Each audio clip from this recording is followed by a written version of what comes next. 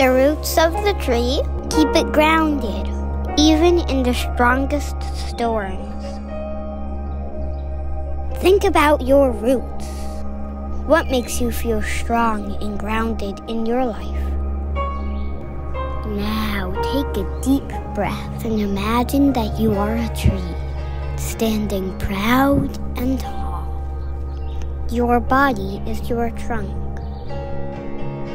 Take a deep breath and stretch out your arms.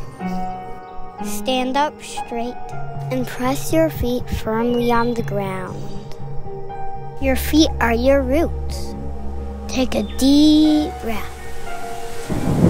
Now imagine a big storm has come. Sway from side to side as the wind and rain is blowing from all directions. Think again about your feet.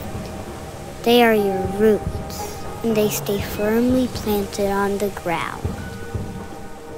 No matter what comes at you in this life, your roots will keep you strong.